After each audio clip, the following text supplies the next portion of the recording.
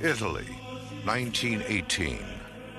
A young friar has a vision of the crucifixion as beams of light pierce his feet and hands. Germany, 1952. A young woman falls into a trance and blood begins to pour from her eyes. England, 1992. A widow discovers blisters on her palms that soon turn into open, bleeding wounds.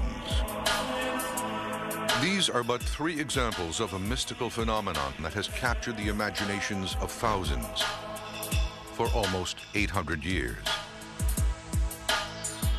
Some claim it is the physical incarnation of the crucifixion of Jesus Christ. It is stigmata, marked for life.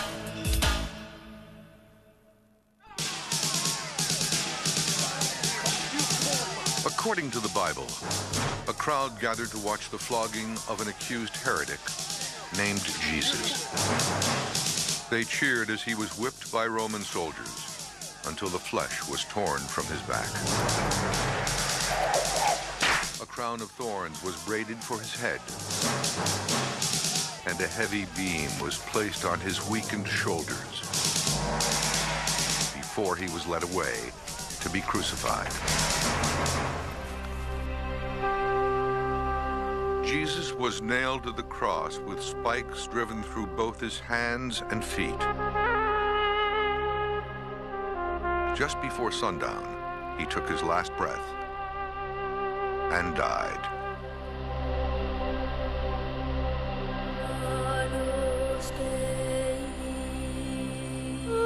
With the Sabbath upon them, Joseph of Arimathea asked to take down Jesus' body.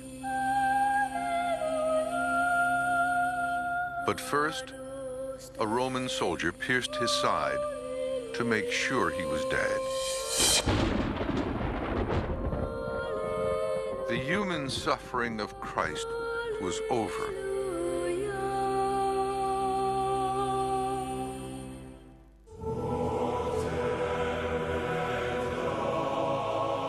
But for some devout, the pain of his crucifixion would live on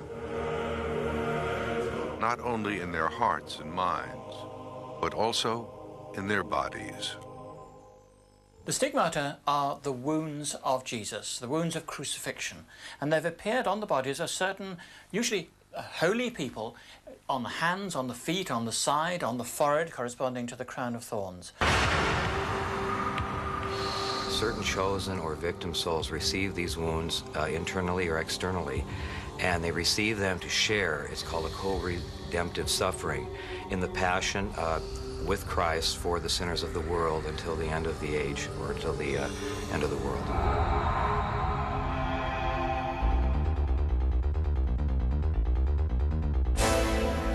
From Stigmata's first recorded appearance in the 13th century to today,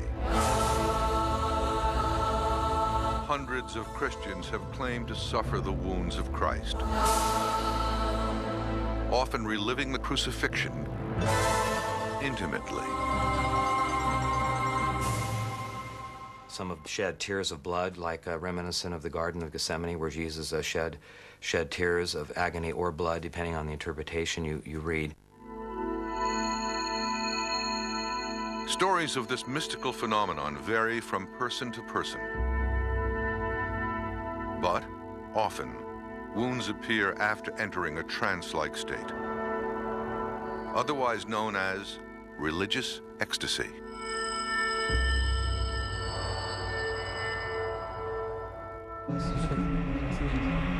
In 1275, Elizabeth of Herkenrode, a Belgian Cistercian nun, would fall into a trance strike herself on the jaw and pull roughly at her habit, as if being dragged by Roman soldiers.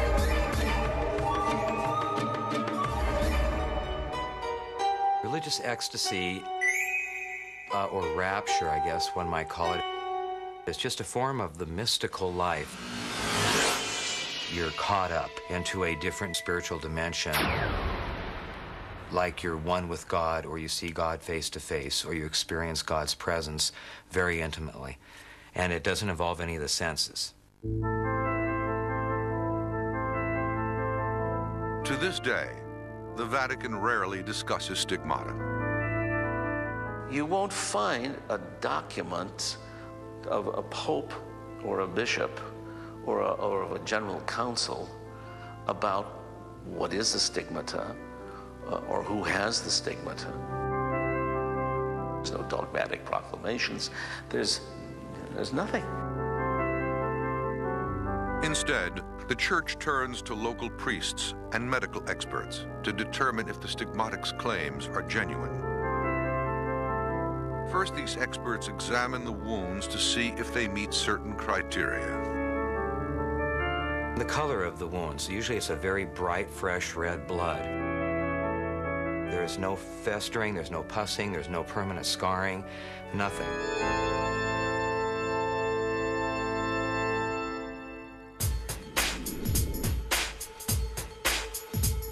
Throughout Stigmata's history, some have faked the wounds for a variety of reasons.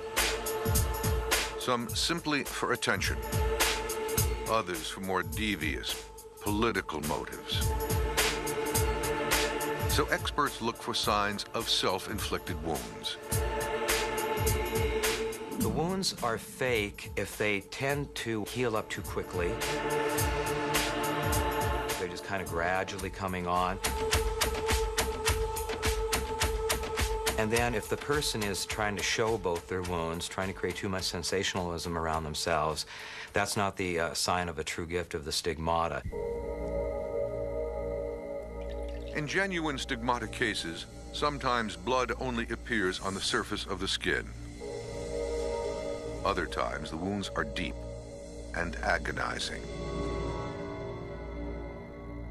When a stigmatist receives a stigmata, they are ex excruciatingly painful, uh, very painful, because the wounds, if they are authentic, are usually very deep, or they'll go all the way through, like the palms and the soles.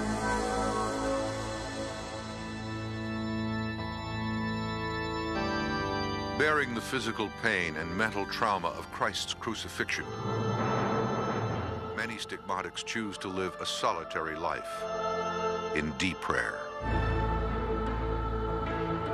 Stigmatists are very humble, quiet uh, souls that really don't want to uh, expose themselves to others unless God has a plan for that design.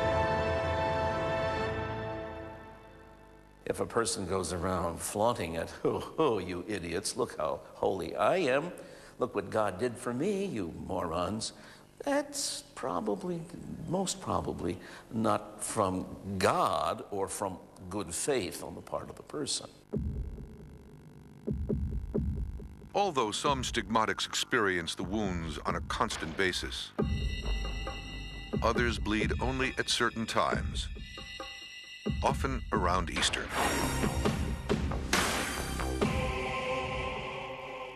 By his wounds we have been healed. In 1992, Heather Woods, a deacon at a small church in England, suddenly discovered blisters on her hands.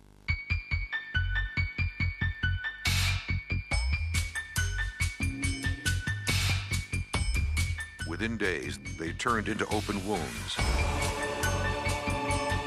And soon, her feet and side began to bleed.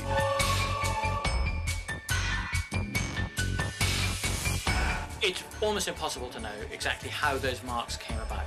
But I do know that on Good Friday, and I was there at the time, she had in her hands and her feet very vivid, uh, round, red wounds that seeped blood. Although Harrison observed her wounds and had suspicions about their authenticity, he never got the chance to further his examinations. Very sad to say, not long after all of that, Heather herself died. Her body was found in a, in a river nearby. The coroner investigated her death, wasn't able to say what the cause was. Some people said it was suicide, but there was no proof. So what the full story was, we shall never know.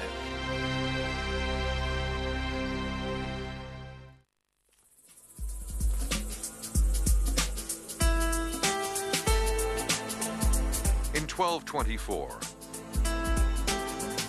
as the morning of the Feast of the Holy Cross dawned, 42-year-old St. Francis of Assisi knelt in prayer, fervently contemplating Christ's crucifixion. Late in life, when he was praying very intently and he was not well, he had been sick, he was in pain, he had been suffering, he had been fasting, and he had an amazing vision. And in the course of a vision that was described as if a, a, a, seraphim had appeared to him and, and pinged like laser beams into his hands and marks that corresponded to crucifixion, he received the first really well-known case of stigmata. The faithful believed St. Francis had been touched by God given the ability to heal, read hearts, and even speak to animals. Francis lived with his wounds for only two years before his death in 1226. Immediately, calls for his canonization began, and in 1228, Pope Gregory IX officially declared him a saint. Since the wondrous events of his glorious life are quite well known to us, and since we are fully convinced by reliable witnesses of the many brilliant miracles we have decreed that he be enrolled in the catalog of saints, worthy of veneration.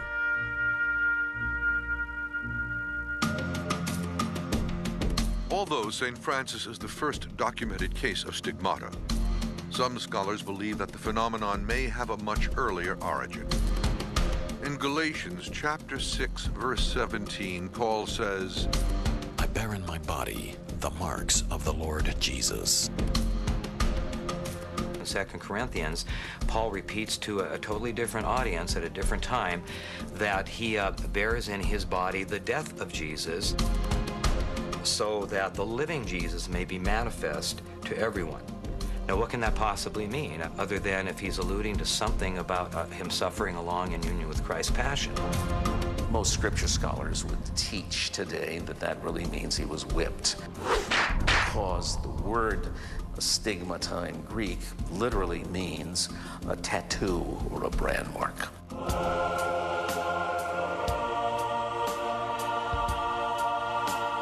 When St. Francis received the stigmata in the 13th century,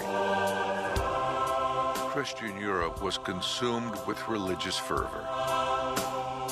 This was a tradition of a very devout monastic kind of life where there were a lot of convents and monasteries coming up everywhere. New religious orders were sprouting all over.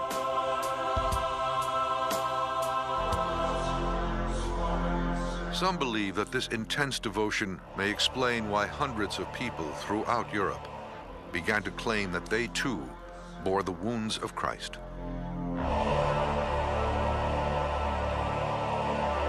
And it was at that time when people sometimes became rather disillusioned with the church itself, some corruption amongst the priests and so on. But through stigmata, it was possible for individuals to display these marks on their body, somehow have this strange or direct access to the body of Christ, without the church having directly to sanction it.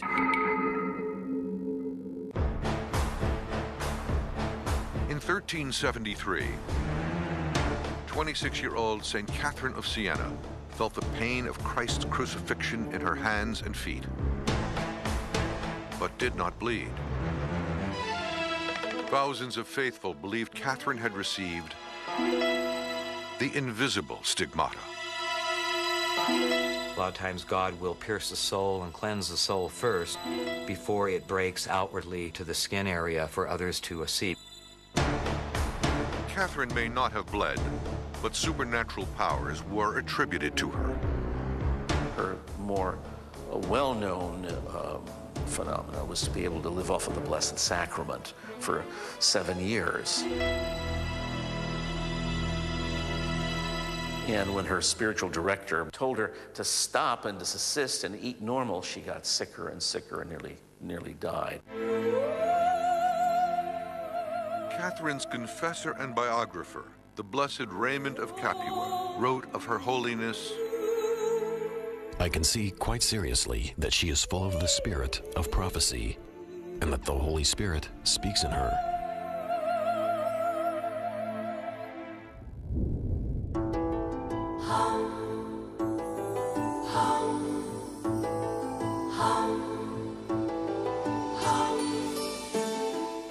15th, 16th, and 17th centuries, reports of stigmata sprouted all over Europe, particularly in Spain and Portugal. But as the age of enlightenment dawned, people began to question the validity of these claims. As you move closer to the 15th, 16th centuries of the Middle Ages, the age of enlightenment and reason, scientific explosion, revolution, I think all this kind of made us more aware of investigating uh, any claims of uh, miraculous events or, or just uh, uh miraculous gifts in general. Uh, because we had more tools at our disposal to investigate these things thoroughly. And so, of course, more, more deliberate hoaxes are going to be revealed.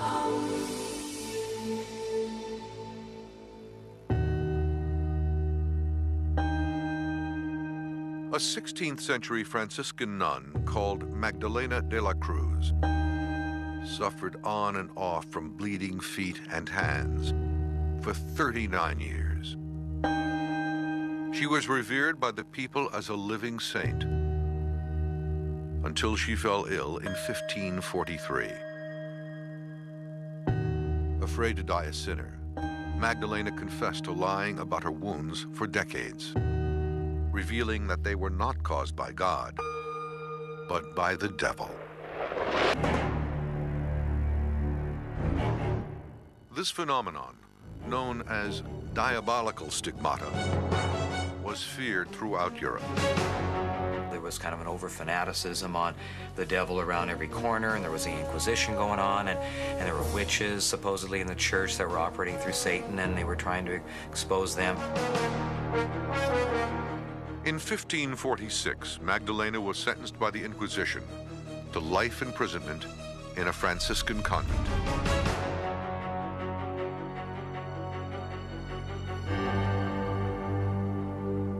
In the 18th century, Pope Benedict XIV established for the first time some guidelines to help recognize genuine stigmata.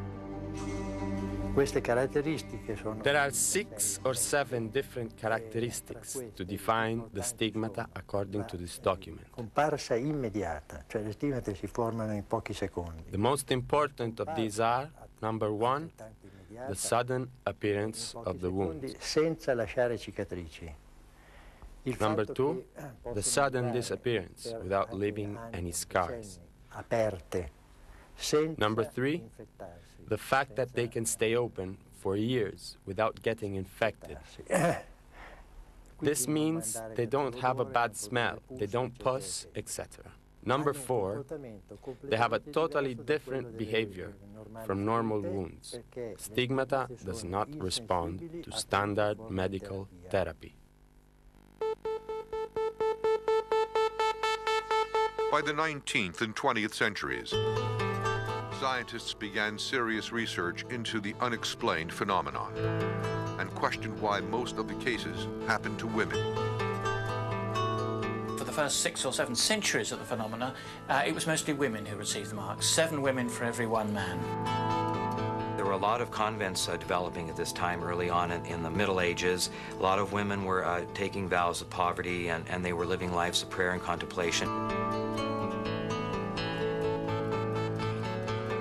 Some believe that this deep devotion, coupled with an assumption that women are more prone to extreme emotion than men, accounts for this 7 to 1 ratio. But others believe there is a deeper significance. Since women could not become priests, stigmata was one way for them to have direct access to God.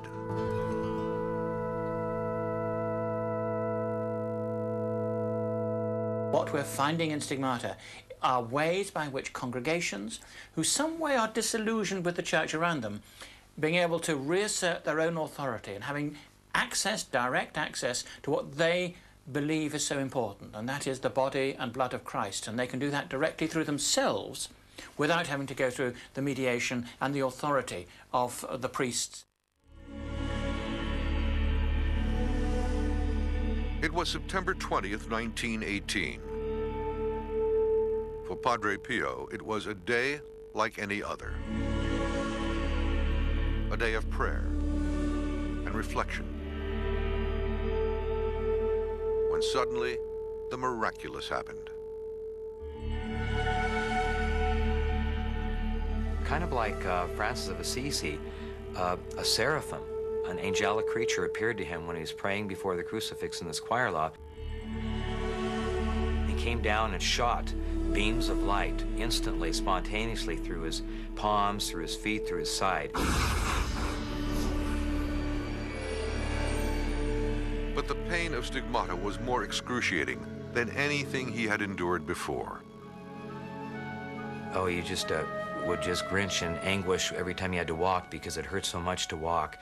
And he was constantly bleeding, and he'd bleed a, a, a cup full of blood from his side wound every day, and they had to change ba his bandages and his shirt from his side wound and had to rewrap his hands. It's very interesting that lots of stories have been told about him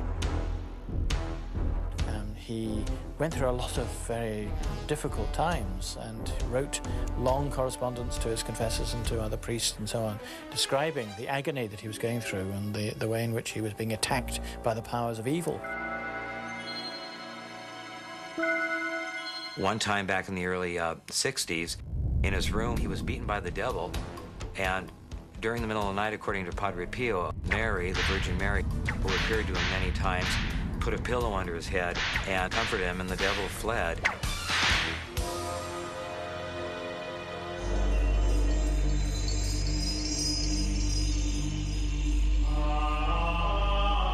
When Padre Pio wasn't fighting evil, his followers believed he was armed with certain gifts from God in order to help the faithful. He was a remarkable confessor. People would queue to make their confession to him and believe that he had tremendous insight when, in fact, they saw him eventually. Padre Pio often heard confessions for up to 18 hours a day. 18 hours a day is beyond what ordinarily most priests can handle.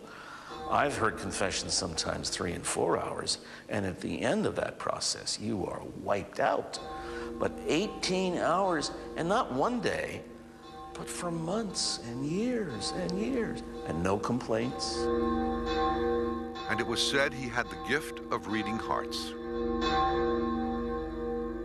He could tell you what your what your sins are, what you've been what you've been sinning. Uh, how you've been sinning, what you've done wrong, specific places, incidences, names. And you could say, I did this and that, and then he would say, but you forgot this and this and those. He had, of course, the gift of healing, and uh, he had the gift of uh, inadia or inedia, some people refer to it. Now, that's the gift of not uh, eating anything but the Holy Eucharist, surviving on the Eucharist. He could be detected by the odour of sanctity, a sort of sweet smell, rather like roses, that went about with him, and when his presence was there, but he wasn't there physically. He also had the gift of bilocation, which is being in two places at one time. Uh, literally, of course, a person can only be in one place, but it's sort of a spiritual reappearance to others at the same time in other places where they actually look like they're bodily appearing, to comfort them in times of sorrow, confusion. Well, the church had to do some investigations because throngs of people were starting to come and a cult was developing around him very fast. Whenever there's a new stigmatic, the church approaches it very cautiously. We'll get a local bishop to set up an investigating uh, committee, perhaps a committee made up of a doctor and a priest and, and one or two uh, laymen who will come and have a look at the evidence, look at the person, interview them, see what they're up to, uh, see what the religious community around them are up to, and then report back. The stigmatic is assigned a spiritual director who begins simply by asking the stigmatic a number of questions. I would ask is, how are you? How are you feeling? What do you do? As I was listening to the answer on the verbal level of the, the intellectual, the, the conceptual level, I would also be trying to listen to the emotional level. Is she da, da, da, like a zombie? Or is she uh, acting well, is she frenetic? Then I'd ask the, you know, the big question now, do you, you know, I see your hands are bloody or your feet are bloody. May I take a look at them?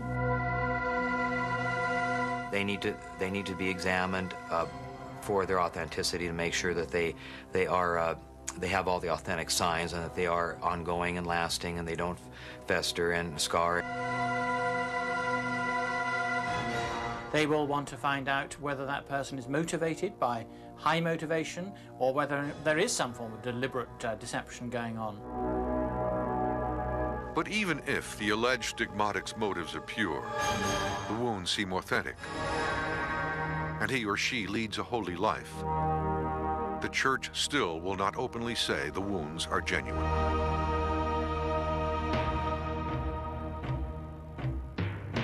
The church does not authenticate a stigmatist until after they've passed on.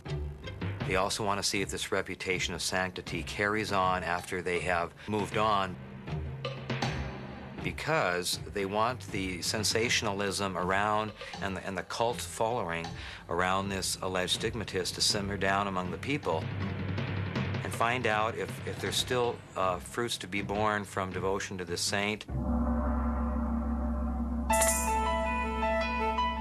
Padre Pio's case, a full investigation began soon after he received his wounds. He underwent psychological as well as medical exams. One doctor examined Padre Pio's uh, wounds said he, he, could, he could put a flashlight in, in one, of the, one of the wounds and look through the other side of the hand and, and see the light come clearly through. Another time, he could press two uh, fingers together, one on the palm and one on the uh, outer side of the hand, and can almost touch his two fingers together. That's how deep the wounds were. And so, very painful. Between 1919 and 1920, Padre Pio's wounds were examined by at least three doctors who could find no evidence of self-infliction. However, there was at least one doctor who did find grounds for suspicion. One medical uh, report said that they could find um, chemicals, particularly of, of, iodine, on the on the wounds, and suggesting, you know, that he was doing something to maintain the wounds himself. It was something which threw a strange doubt over the claims that these marks were supernatural. Still, Padre Pio attracted huge crowds to his little village. Hoping to stop this fervor from growing, in 1922, Pope Pius XI ordered him to hold Mass only at 5 a.m. He was forbidden to bless the crowds, show his stigmata, or answer letters from his many followers. The church never officially recognized Padre Pio's stigmata, although they never denied his claims either. Eventually, the controversy surrounding the stigmatic friar subsided. That is, until his death in 1968.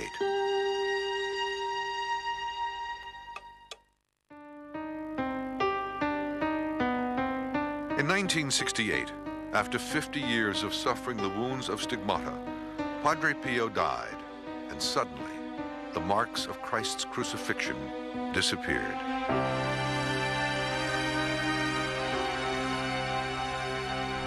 There's nothing there anymore, as if the gift that God intended for that soul to have has been utilized and there's no need for it anymore. The believer said, that is a sign. Those wounds have been taken back by God. The skeptic said, ah, that shows that the old man, as he got more and more feeble, wasn't able to keep the marks up, and therefore they've healed. Uh, what the explanation is, one will not know. Um, but it's certainly the case that the wounds were not on his body when he died. Dr. Marco Margnelli, a neurophysiologist, studied Padre Pio's psychological profile during a 1987 convention called by Italian Capuchin priests. He ruled out the possibility of a mental illness, but came up with an alternate explanation. Starting from the 1950s, the stigmata were considered a hysterical phenomenon, the consequence of a mental illness. Before then, they were seen as a miracle, a phenomenon that could happen only with the direct intervention of God. Now, instead, we see them as psychosomatic, which means that the brain actually creates these sores on the body as a result of some very complicated autosuggestion. In other words, is it the mind trying to say something to the body and the body produces psychosomatic wounds? Some say the psychosomatic theory could explain why Padre Pio's wounds disappeared after he died. For others, the suggestion is preposterous. But still, the question remains, how powerful is the mind? Now, we know the psychosomatic does work. We know that if you're embarrassed, you blush, and blood goes to the face, and uh, it goes red. Now, that's psychosomatic. Studies have shown that stigmata tends to appear after an altered mind state, commonly referred to as ecstasy. There is often an inrush of spirit, an ecstasy, an alteration of consciousness that points toward a higher self, a deeper part of our human nature. This is the final moment of a psychological and emotional phase.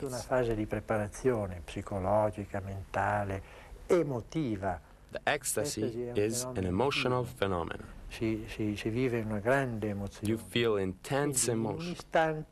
And in an instant, all this preparation comes together and generates ecstasy.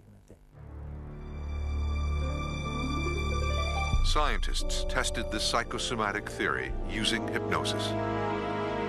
In England in 1952, Dr. Albert Mason hypnotized a 15-year-old boy in hopes of eliminating the warts that covered his body as the result of a congenital skin disease. After only two sessions, 70% of the warts disappeared. Experts then thought if the mind could make physical wounds go away, perhaps it could create them too. In hypnosis, for example, um, all sorts of bodily changes have been proposed to hypnotized subjects. For example, um, raising a blister. I've seen this done to um, tell the person that they're going to be touched by a hot cigarette or something else, and to watch the person just be touched by something cool, and suddenly there's a blister there classic case was told of a man who had rope marks on his, on his arm. When he relived in his own mind the trauma of being tied up as a prisoner, those rope marks became far more vivid and far more conspicuous.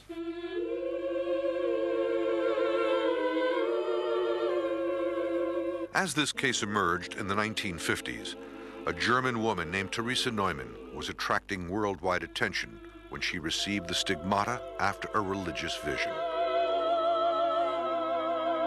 Theresa Neumann came from Bavaria. She lived in the middle of the 20th century. She was somebody about whom you could say she had the works. She had stigmata in spades. She had visions, she had ecstasies, she had bleeding eyes, she had wounds that bled, she stayed in bed for long periods of time, she didn't eat for long periods of time, she had strange illnesses. There's pictures of her bleeding profusely from the eyes during her ecstatic moments her passion ecstasies, when she would relive the whole entire passion narrative week after week after week, hundreds of times throughout her life. Teresa Neumann's story caught the attention of a German psychiatrist who theorized that the same wounds could be exhibited in another individual under hypnosis. Well, there was a German psychiatrist who had uh, working for him um, in his domestic service, a girl uh, who could be hypnotized very easily. And he tried an experiment. The girl, called Elizabeth Kay, was put under hypnosis and told that she was wearing a crown of thorns. Red welts appeared on her forehead. And soon, Elizabeth Kay had blood running down her face, just as Theresa Neumann had.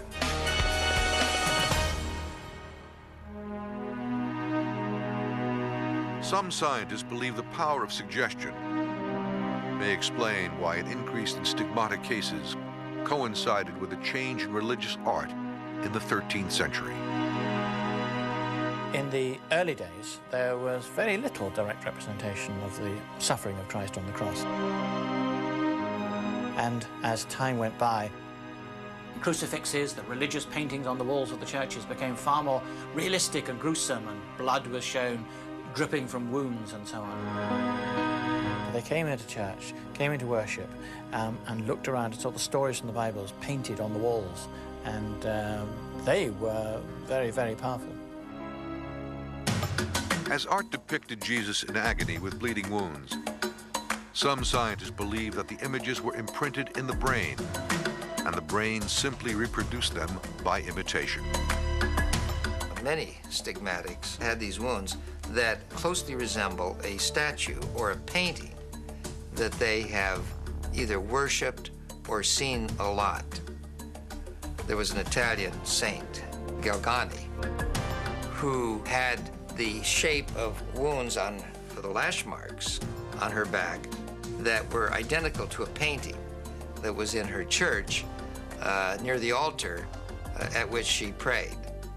So she'd been imprinted with that image to such a degree that she got the same marks. Most Catholic theologians of the past, and I presume of the present, uh, there's not too much literature today on the subject, believe that given a strong imagination, given a strong ability to concentrate, given deep fervor, um, one could start to produce these things on one's body, that is to say, the marks of Christ. On June 16, 2002, more than 400,000 of Padre Pio's loyal followers gathered in St. Peter's Square for his canonization. Less than 40 years after his death, Padre Pio was pronounced a saint by Pope John Paul II. The two men had a brief interaction in the 1960s when the Pope was a young priest in Poland. At that time, he asked Pio to pray for a woman in his church who was dying of cancer. She was miraculously cured, and Padre Pio became even more revered. In the last uh, 20 or 30 years, the cause for him to be canonized reached such a pitch of enthusiasm that he was fast-tracked for canonization. Padre Pio had actually forecast that the present Pope would become Pope one day.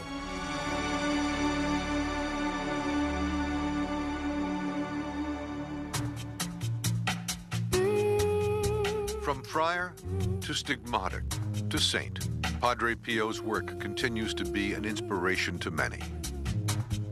Uh, as a result of Padre Pio's ministry, a, a big hospital was set up. More people came to that particular worshipping community than ever before.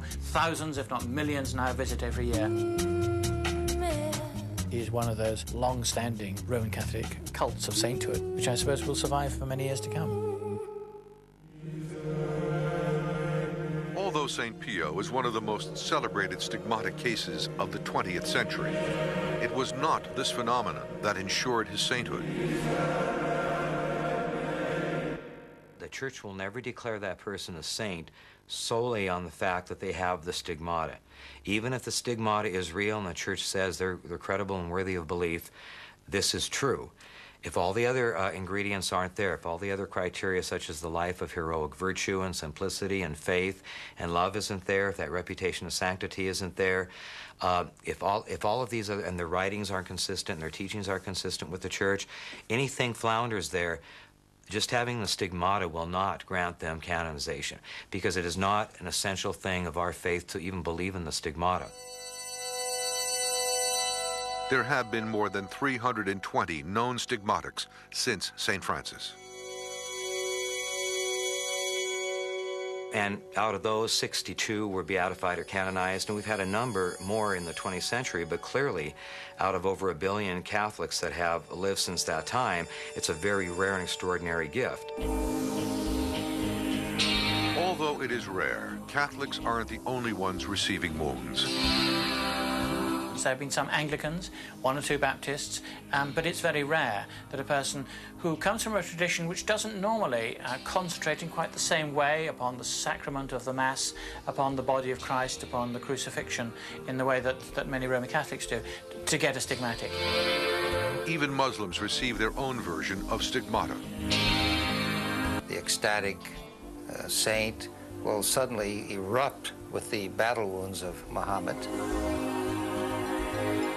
Today, the number of Christian stigmatics are on the rise throughout the world, having appeared in the United States, England, Australia, Canada, Ireland, Scotland, and even Korea. We're hearing about leaping up from Peru and Brazil, and there's one reported living stigmatist now from Damascus, Syria. There's one right outside of Munich, Germany, from a close source I know. Really, one can follow the way in which Christianity, particularly Catholic Christianity, has spread around the world, and with it, stigmata has gone as well. It is a symptom of a congregation needing a direct experience of some sort. And people want to take back to themselves a religious experience and revalidate their own faith and their own experience in a way that they can do and, and can have control over. While stigmatic cases receive great public attention, the phenomenon actually plays only a small role in Christian theology. The stigmata is a teeny weeny, teeny weeny, little, little crumb of the overall teaching of spiritual theology. So, you know, the church leaves it then to spiritual theologians to speculate or uh, think about or make some insights into the questions of phenomena. Stigmata is a fascinating phenomenon, and I think it's important to understand it. They do inspire awe and wonder, and yet at the same time, the skeptics can look at them and say, no, there are natural explanations to these wounds. But what the skeptics can't do is say that those wounds do not exist. And so when it comes to the stigmata and all the claims about the miraculous, there is the evidence in front of both skeptic and believers equally, and from that, the debate can take place.